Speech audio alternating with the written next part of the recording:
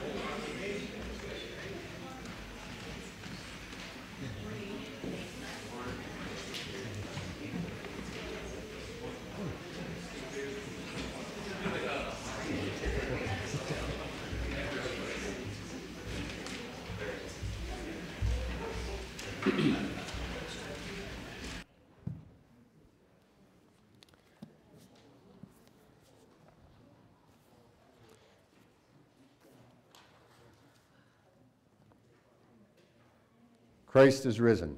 Is risen indeed. He who died is alive with us in this time of worship in the name of the Father, and of the Son, and of the Holy Spirit. Amen. Christ lives among us. Let us rejoice. And because our Lord Jesus Christ is here with us,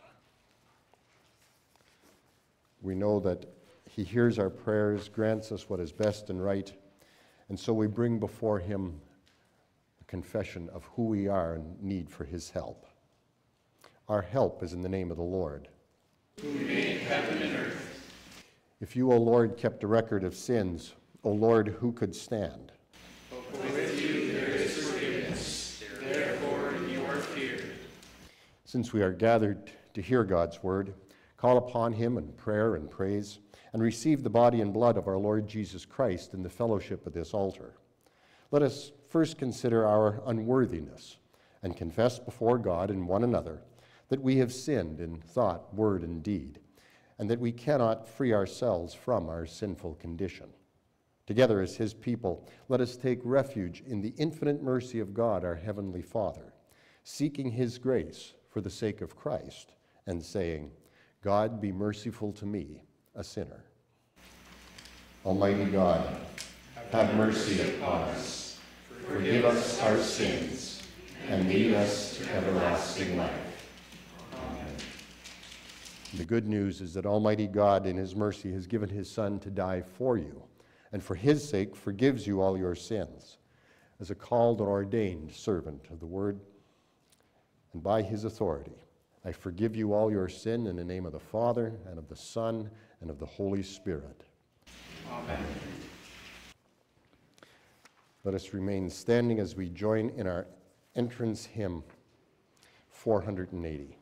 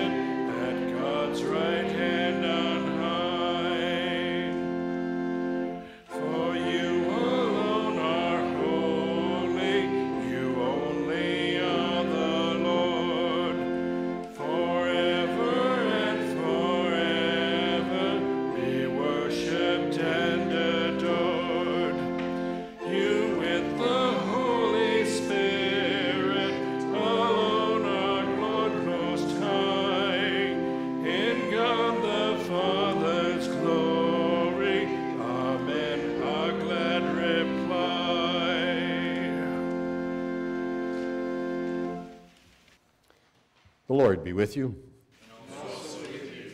Let us pray together the collect.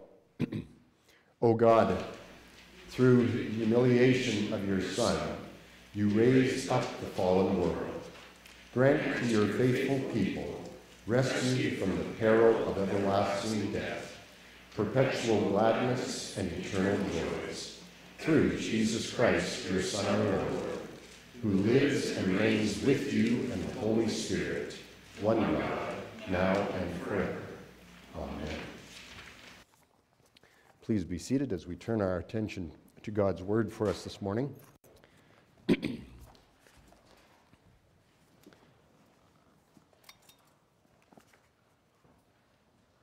our first New Testament reading from Acts chapter 3, beginning at verse 12.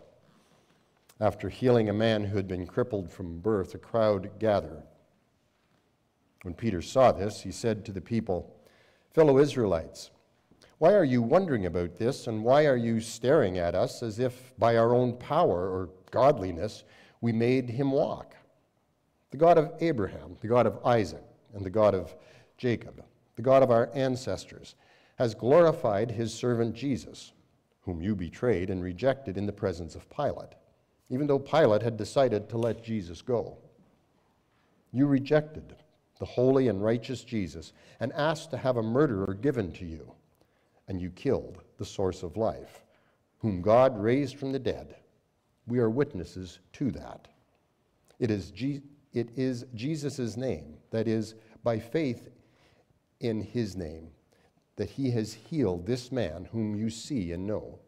Yes, the faith that comes through Jesus has given him this perfect health in the presence of all of you. And now, brothers, I know that you acted in ignorance like your leaders.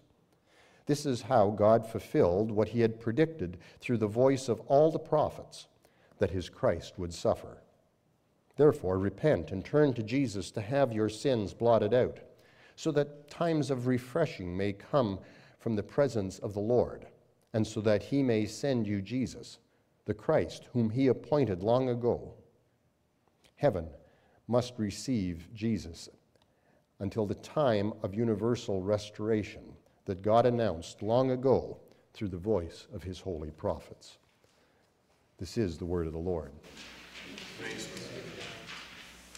Our second New Testament reading from the Apostle John's first letter, chapter 3. See what kind of love the Father has given us and letting us be called God's children. And that is what we are. For this reason, the world does not recognize us because it did not recognize Jesus either. Dear friends, we are now God's children. But what we will be like has not been revealed yet. We know that when Christ is revealed, we will be like him because we will see him as he is. And everyone who has this hope based on Jesus keeps himself pure, just as Jesus is pure. Everyone who keeps living in sin also practices disobedience. In fact, sin is disobedience. You know that he was revealed to take away sins, and there is not any sin in him. No one who remains in him goes on sinning. The one who does, the one who goes on sinning, hasn't seen him or known him. Little children, don't let anyone deceive you. The person who practices righteousness is righteous, just as he is righteous. This is the word of the Lord. Let us rise in anticipation of that great day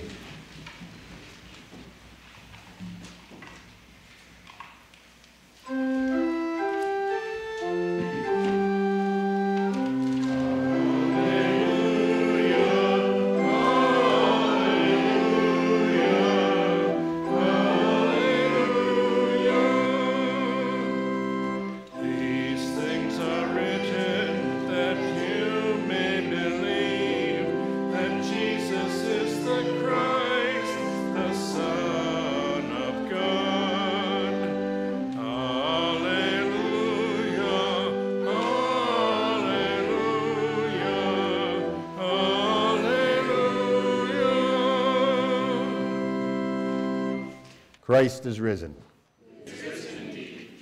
Hallelujah. Many holy people who had died were raised to life.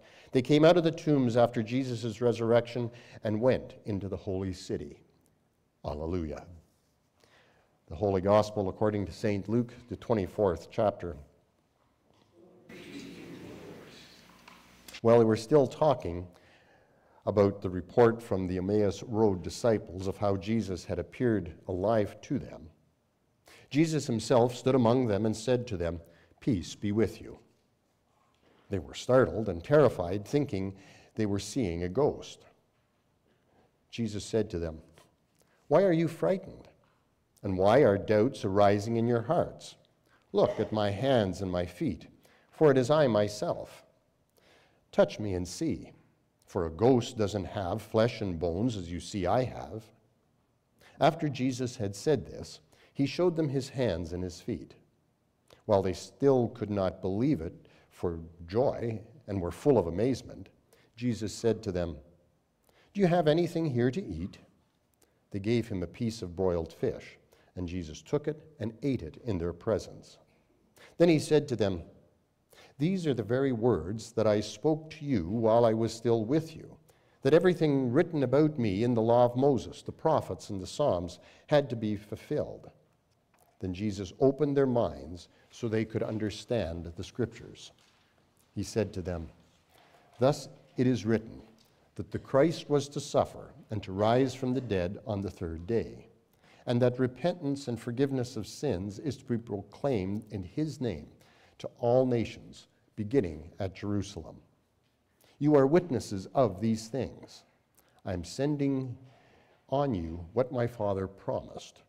but stay here in the city until you've been clothed with power from on high. This is the holy gospel of our Lord. And for all that our Christ has done for us, let us confess our common faith in the words of the Nicene Creed. I believe in one God, the Father Almighty, maker of heaven and earth, and of all things visible and invisible. And in one Lord Jesus Christ, the only begotten Son of God, begotten of his Father before all worlds, God of God, light of light, very God of very God, begotten, not made, being of one substance with the Father, by whom all things were made, who for us men and for our salvation came down from heaven and was incarnate by the Holy Spirit of the Virgin Mary, and was made man, and was crucified also for us under Pontius Pilate. He suffered and was buried. And the third day he rose again, according to the Scriptures, and ascended into heaven, and sits at the right hand of the Father. And he will come again with glory to judge both the living and the dead whose kingdom will have no end. And I believe in the Holy Spirit, the Lord and giver of life, who proceeds from the Father and the Son, who with the Father and the Son together is worshipped and glorified, who spoke by the prophets. And I believe in one holy Christian apostolic church. I acknowledge one baptism for the remission of sins and I look for the resurrection of the dead and the life of the world to come. Amen. Please be seated as we continue with our hymn of the day, 474.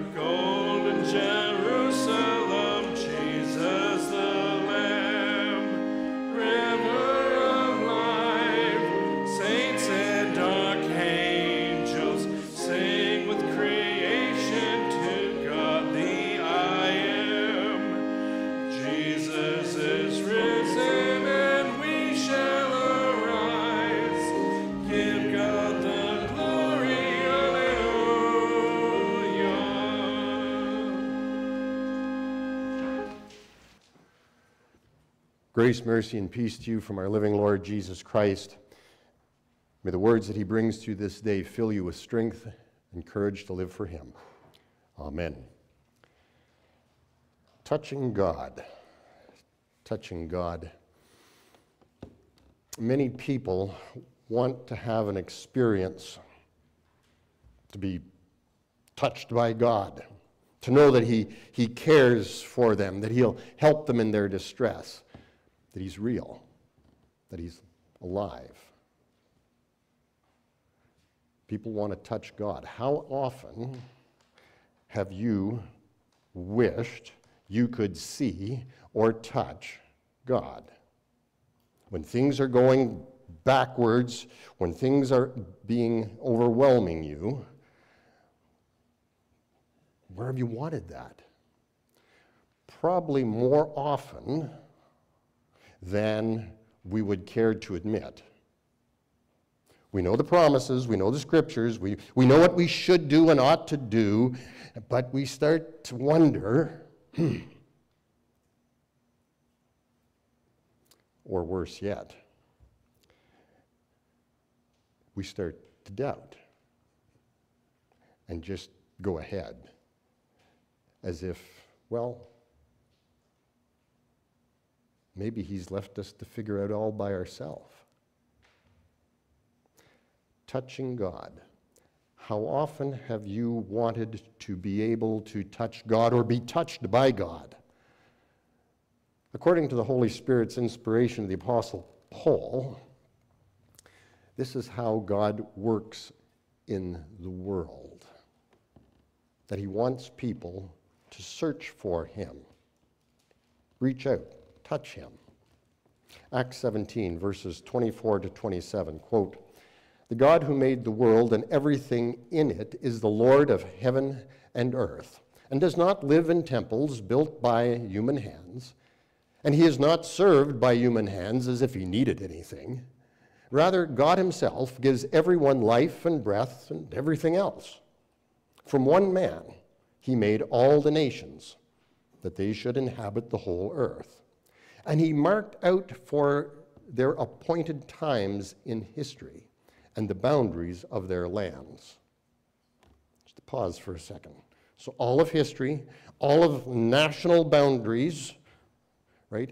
And he marked out their appointed times in histories and the boundaries of their lands. We could do a whole another sermon on war and politics and all the goofiness that seems to skip right by this. I'll skip by it right now. The verse that counts, or, or for this sermon, verse 27. God did this so that they would seek him in the hope that they might feel their way toward him and find him. Yet he is not actually far from any one of us. The phrase that they should feel their way toward him, that one verb is the same verb that's in our text when Jesus says, Touch me and see. Touch me. Verify by handling me. Handle me, right? Sometimes I'll translate it, grab hold of me. But touch and see.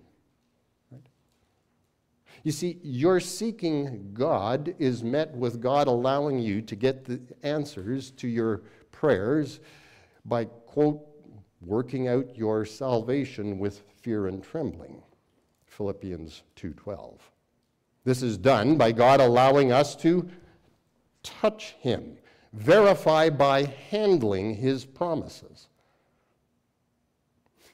In our sermon text, the disciples are confused by the death of the God man. That's not, even though he told them, they just didn't understand that that could ever happen for a number of reasons. And now there's this re- these reports that Christ is risen. But they couldn't say the indeed part just yet. They were confused and bewildered.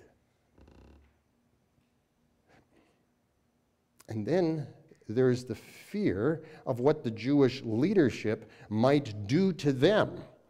Right? They're meeting behind locked doors. To confused and believers, wondering if Christ is alive. Just like often we wonder if he's alive, why is he not helping us?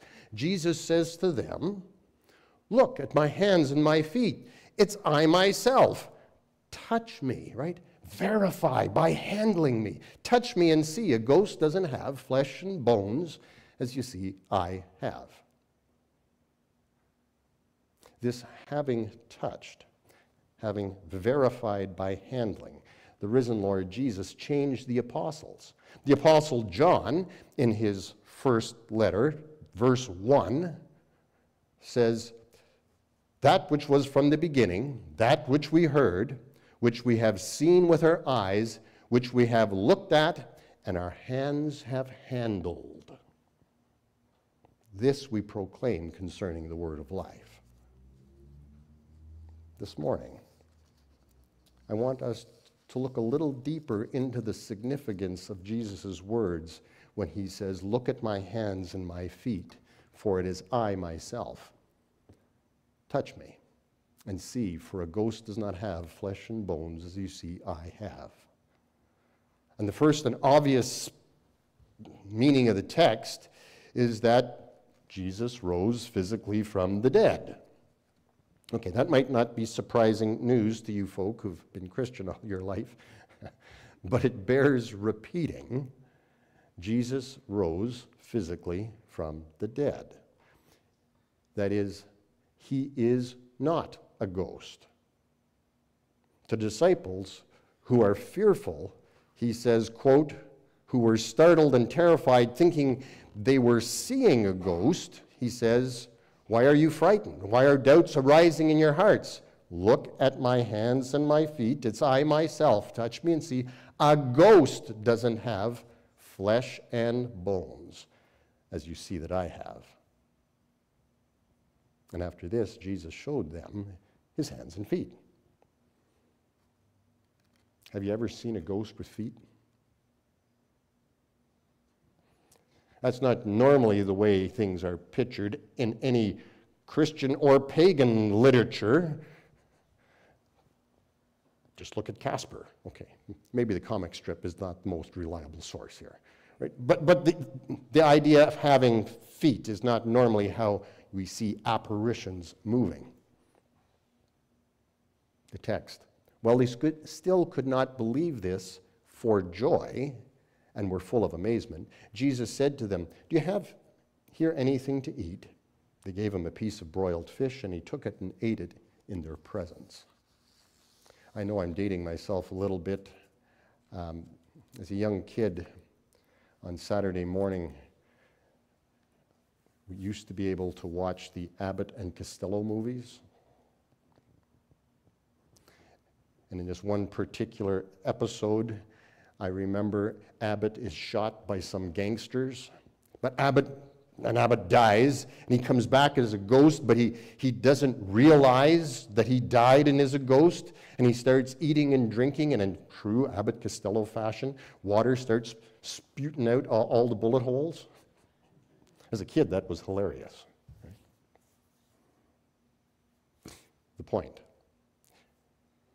Jesus is risen from the dead alive, real, able to help the fearful, searching, worried disciples.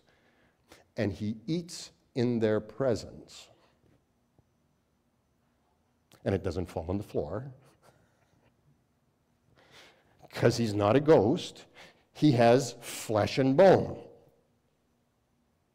The significance of all of this is that you too will be raised to life again with flesh and bone, bodies freed from sin's imperfections, and fully controlled by the Spirit of God.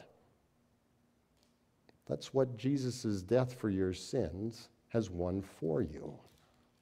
The Apostle Paul writes, But someone will ask, How are the dead raised? What kind of bodies will they have? The body that is buried is perishable, it is raised imperishable. It is buried in dishonor, it's raised in glory. It's buried in weakness, it's raised in power. Just as we have borne the image of the earthly man, Adam, so shall we bear the image of the heavenly man, Jesus.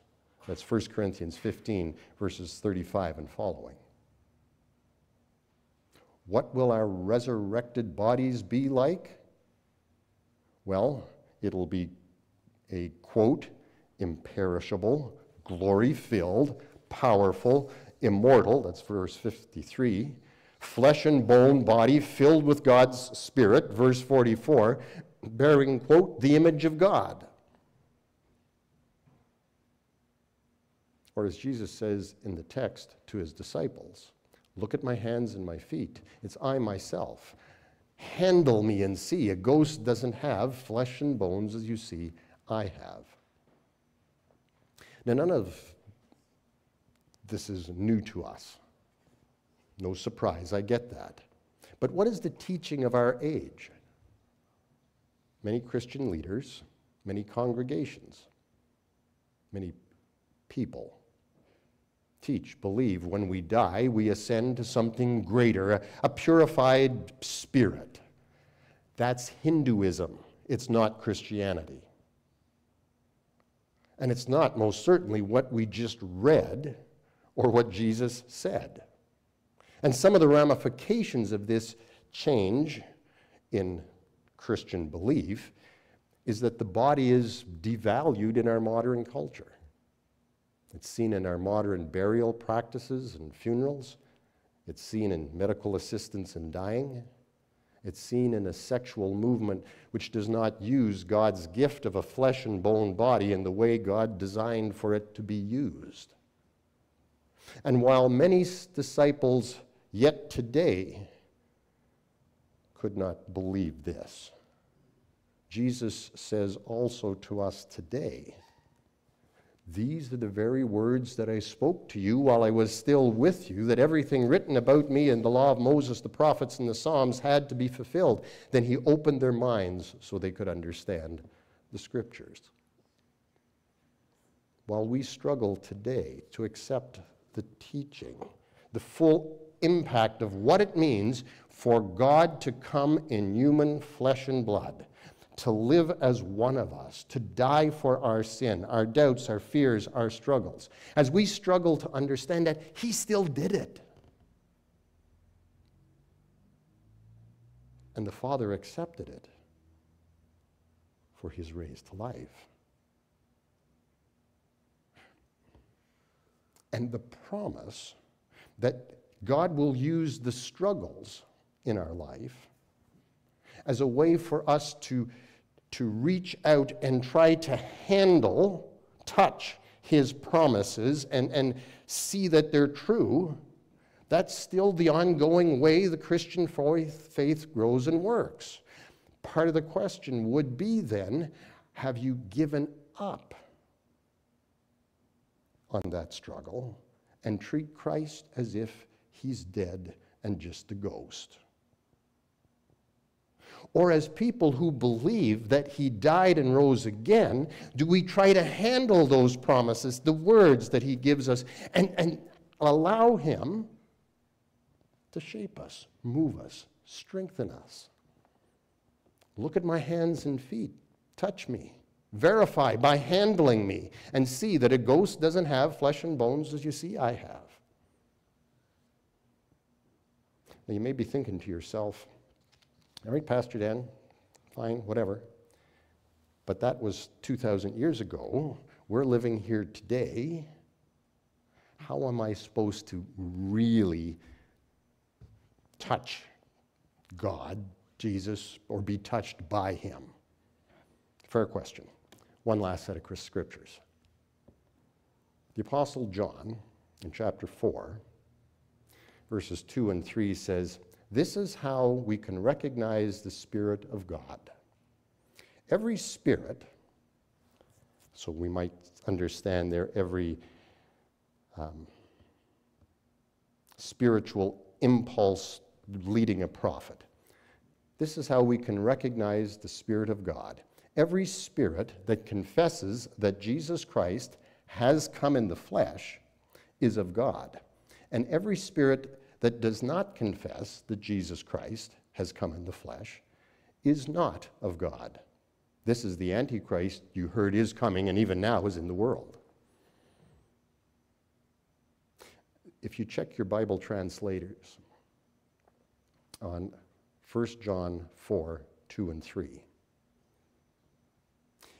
It gets translated different ways, specifically, that Christ has come in the flesh, or Christ comes in the flesh, or Christ is in the flesh. Why? When talking about the past in the Greek language, you can talk about something that happened once in the past, and that's one way you spell the, spell the verb. I was born in 1965, February 20th. I was born once. It happened once in the past.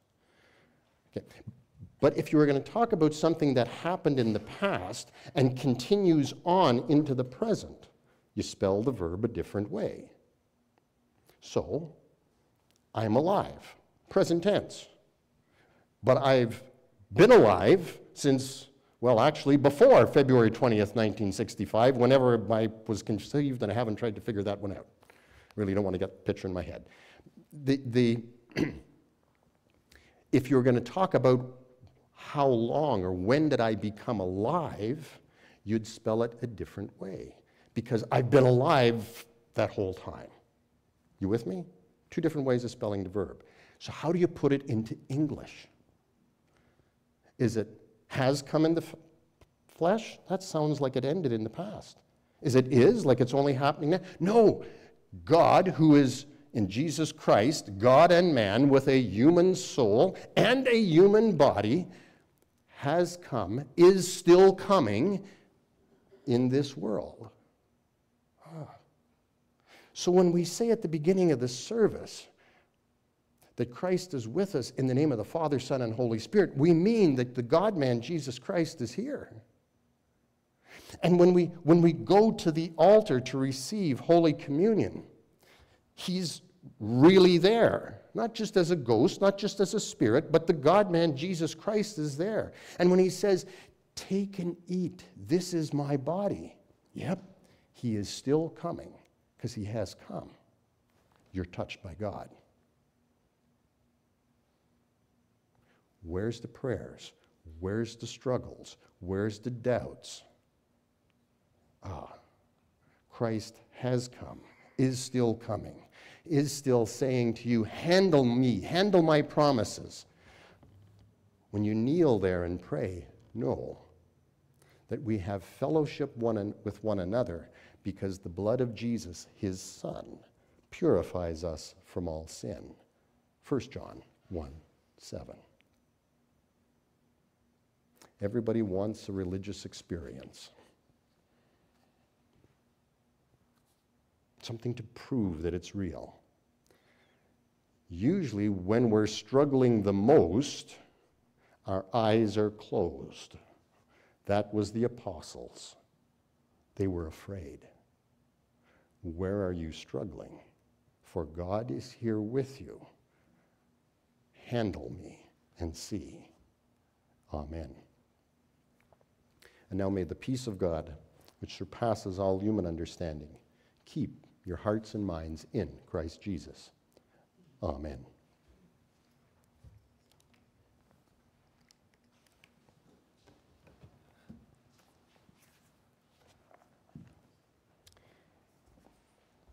Let us rise as we bring before our God all our prayers and petitions for this day.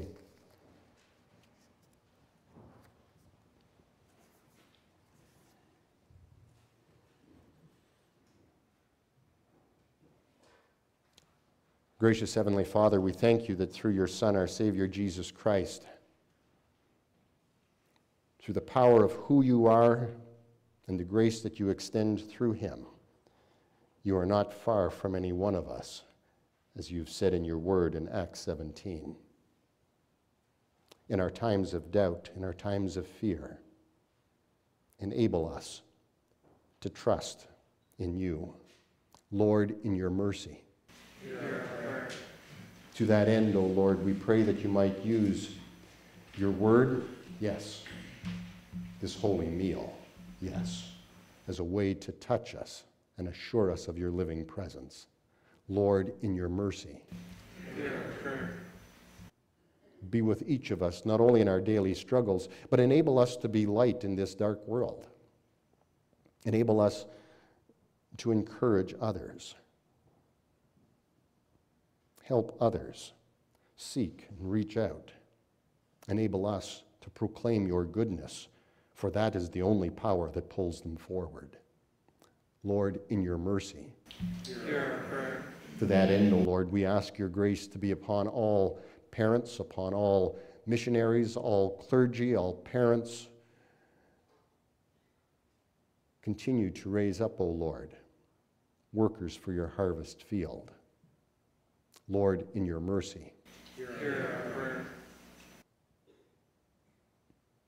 Gracious Lord, we especially pray for all our teachers, schools, and students, seminaries, that the truth of your word might go forth, that any false idea be left ununderstood. Lord, in your mercy, we pray for all our government leaders at every level, that you grant them wisdom, that whether they call on you or not, that they would see the truth that is there in creation, that they would see the truth that there is something, someone, you, we would confess, that is bigger and greater, so that they issue good laws that are helpful for justice, for righteousness. Lord, in your mercy. Hear our prayer.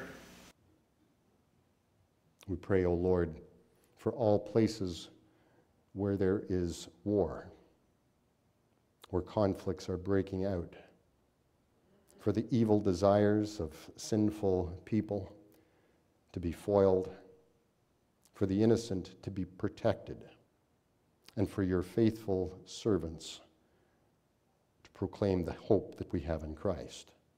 Lord, in your mercy. Gracious Lord, we bring before you all those who are on our hearts family and friends that have various illnesses, that are struggling with various relationships.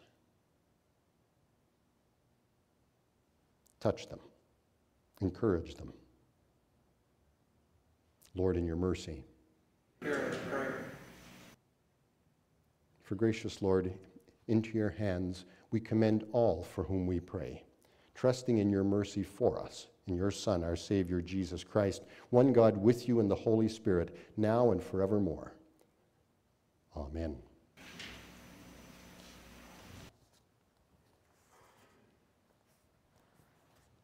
The Lord be with you. And also with you. Lift up your hearts. We lift them to the Lord. Let us give thanks to the Lord our God. It is right to give him thanks and praise.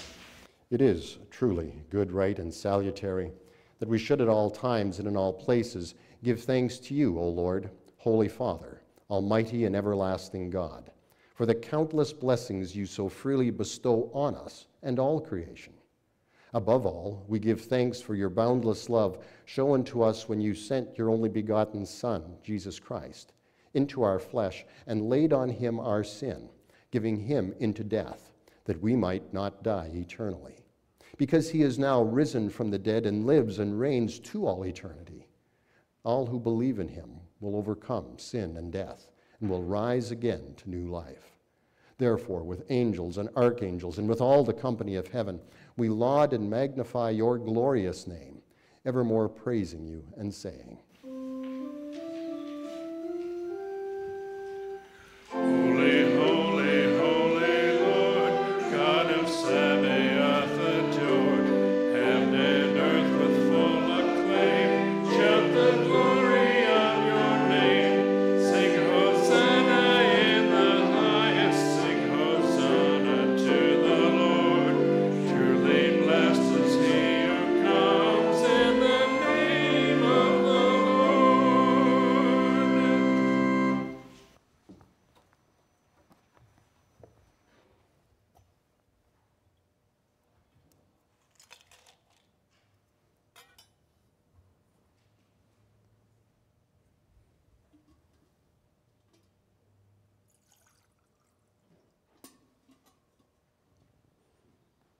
Blessed are you, O Lord our God, King of all creation. For you have had mercy on us and given your only begotten Son, that whoever believes in him should not perish, but have eternal life. In your righteous judgment, you condemned the sin of Adam and Eve who ate the forbidden fruit, and you justly barred them and all their children from the tree of life. Yet, in your great mercy, you promised salvation by a second Adam your Son, Jesus Christ our Lord, and made his cross a life giving tree for all who trust in him. We give you thanks for the redemption you have prepared for us through Jesus Christ. Grant us now your Holy Spirit, that we may faithfully eat and drink of the fruits of his cross and receive the blessings of forgiveness, life, and salvation that come to us in his body and blood. Hear us as we pray in his name and as he has taught us. Our Father, who art in heaven, hallowed be thy name. Thy kingdom come, thy will be done on earth as it is in heaven. Give us this day our daily bread, and forgive us our trespasses, as we forgive those who trespass against us. And lead us not into temptation, but deliver us from evil. For thine is the kingdom, power, and the glory, forever and ever. Amen.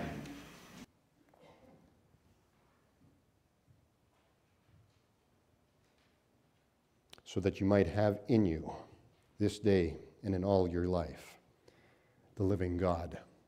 And the night in which he was betrayed, he took bread. And when he had given thanks, he broke it and gave it to his disciples and said, Take and eat. This is my body given for you. This do in remembrance of me. In the same way, also he took the cup after supper. And when he had given thanks, he gave it to them, saying, Drink of it, all of you. This cup is the New Testament in my blood, which is shed for you for the forgiveness of sin. This do as often as you drink it in remembrance of me.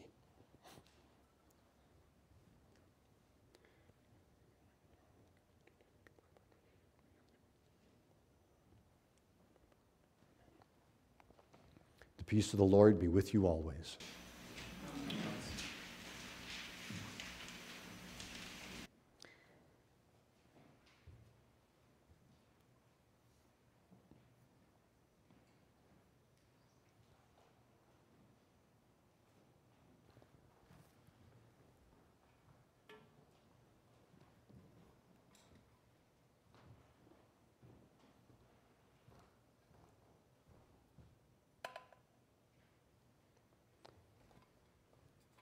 Heavenly Father, accept this token of our love and appreciation. Fill us and use us as your servants in your kingdom as we present ourselves to you. Amen. Please be seated as we continue with the distribution of our Lord's body and blood.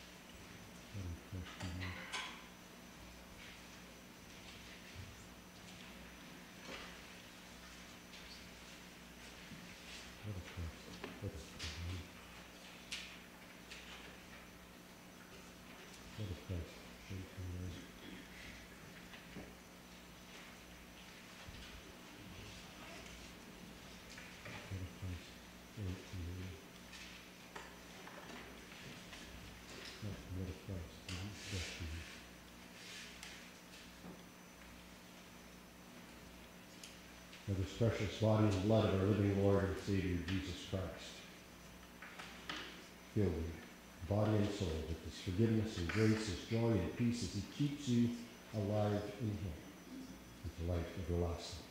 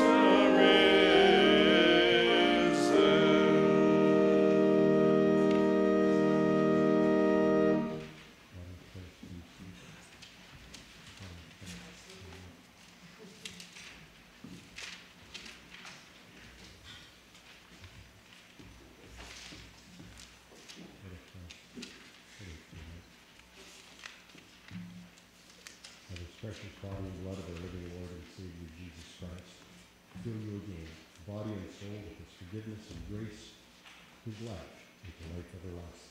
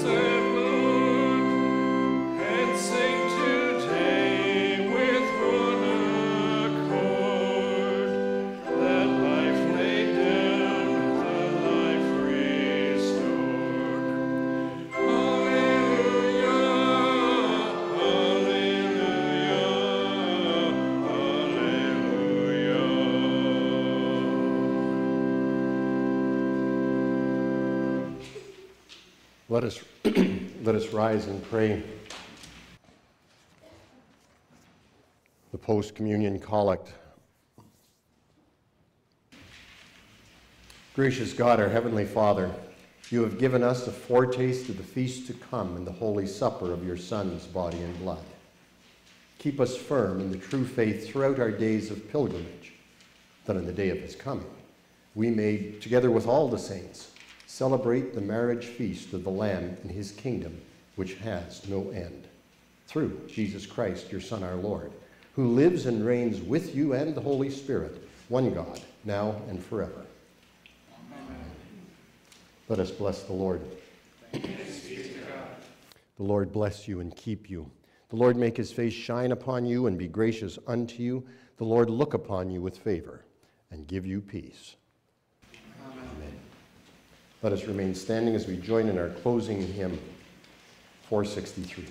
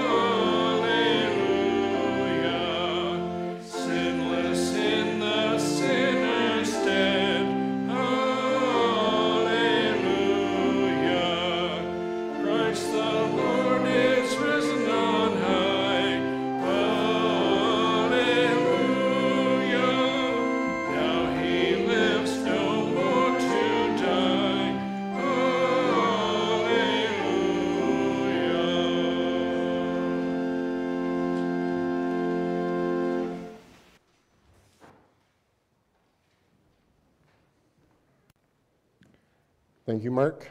Thank you, John and Lori and Paul and Alita and all of those